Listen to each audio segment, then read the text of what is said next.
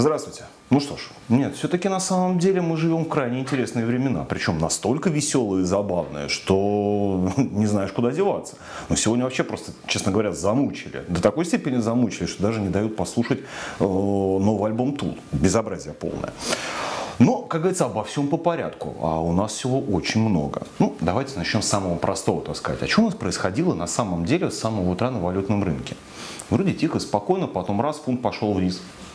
Все причем как по учебнику. Выходит инфляция, она, оказывается, снизилась. Все замечательно, все отлично, фунт дешевеет. Вы мне только одно объясните, а почему вчера, когда выходила инфляция в Соединенных Штатах, происходило все несколько иначе?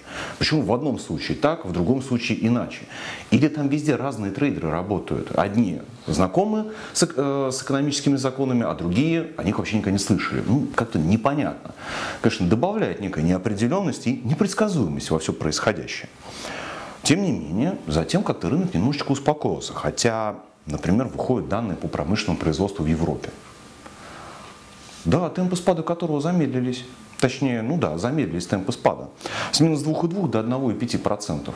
Чуть хуже, чем ожидали, но как бы динамика все равно положительная. Рынок не реагирует. Отлично. А потом выходят данные из Штатов. Цены производителей. Они выросли с 1,1 до 1,3%. Рынки опять стоят. Что такое? Непонятно.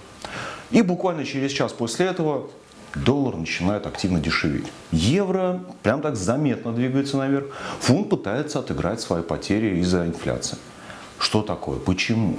А тут, оказывается, проснулись Штаты, и самые честные и транспарентные, я, правда, постоянно путаюсь, что же под этим словом подразумевают, но мне кажется, учитывая, как часто его используют, а, говорящие тоже не понимают значения этого слова. Ну, короче, самые честные эти, как транспарентные СМИ, раструбили, что вот сегодня же соглашение подписывают, точнее первую фазу соглашения между Китаем и э, Соединенными Штатами, того самого торгового соглашения.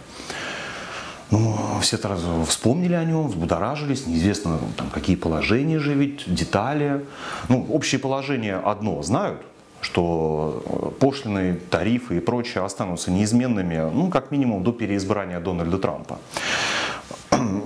Тем не менее, как-то есть непонятки, а что ж там будет? И дальше, соответственно, доллар на этом фоне начал решить. Ну, то есть людям напомнили, что сегодня еще такое событие будет происходить. Крайне любопытно. Вообще, давайте остановимся немножко на этом э, событии. Вот хорошо подписывают они, во-первых, не соглашение, а по сути дела это некий меморандум, фиксирующий те положения, которые мешают дальнейшему переговорному процессу. Ну, чтобы отложить их в сторону, идти э, дальше, двигаться в правильном направлении, а потом вернуться к ним уже в лучшие времена. Логично, на самом деле нормальная позиция. Тем не менее, меня сегодня удивили ряд средств массовой информации, которые стали активно э, рассуждать на тему того, что данное соглашение является губительным для китайской экономики. Вы про что? Вся эта эпопея была затеяна Дональдом Трампом для того, чтобы изменить баланс торговли между Китаем и США. Все эти тарифы, пошлины и так далее. К чему они привели? Они привели к тому, что да, чуть-чуть подорожал китайские товары на американском рынке. Да, китайские компании чуть потеряли некую долю небольшую на американском рынке. А американские компании? Они, в общем-то, так и не хвастаются хорошими результатами на китайском рынке, потому что они все равно дороже, чем китайские товары. Плюс там тоже есть свои протекционистские меры в Китае. То есть, по сути дела, результата ноль. И если сейчас Трамп говорит, все, ребят, больше мы пока вот этот вопрос не трогаем, то получается ситуация не меняется.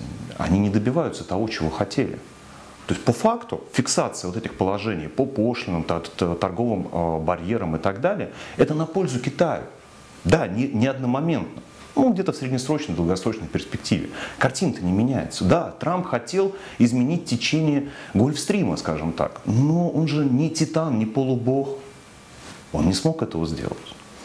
Поэтому по факту, на самом-то деле, соглашение как раз на руку Китаю. И его подписание, скорее всего, придет к тому, что доллар будет дешеветь немного. Но это будет видно уже позже. В конце концов, надо дождаться торжественного подписания этого соглашения и его публикации, полного текста. Но тут произошли крайне любопытные события у нас с вами дома. Ну, наш президент Путин вышел с посланием предложил провести конституционную реформу, причем только через референдум, довольно любопытно. И тут же у нас правительство подает в отставку. Все забеспокоились, как так, что такое. Да нормально все. Вполне логично в рамках тех предложений, которые сделал Владимир Путин. Но самое интересное, а рубль-то, а рубль, а рубль стоит на месте, ему ничего не... Ему по барабану все это дело.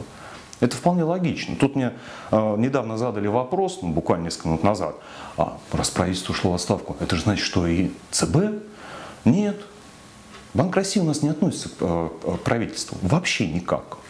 Соответственно, все руководство Банка России остается на месте, продолжает вести ровно ту же самую политику. В этом плане ничего не меняется. Соответственно, для рубля вот эти все телодвижения вообще никак. Ну, ну, неинтересны они ему. Поэтому пока что рубль будет стоять там же, где и стоит. При этом, если честно, особых поводов для его ослабления сейчас, кроме как монетарная политика Банка России, которую мы скоро будем видеть новые, так сказать, ипостаси, ну, имеется в виду дальнейшее снижение ключевой ставки, а также банальная перекупленность рубля все-таки будут играть свою роль. Но это вопрос не сегодняшнего и даже не завтрашнего дня.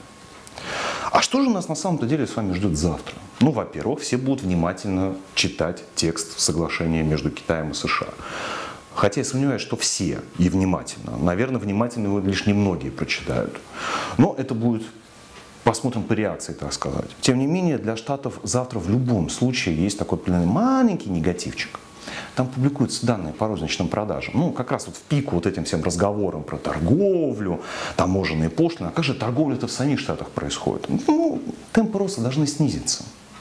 Как говорится, и так плохо. Так что у доллара, честно говоря, завтра весь день по-хорошему не будет повода для роста. Но об этом мы посмотрим уже завтра. А так, до новых встреч и удачи!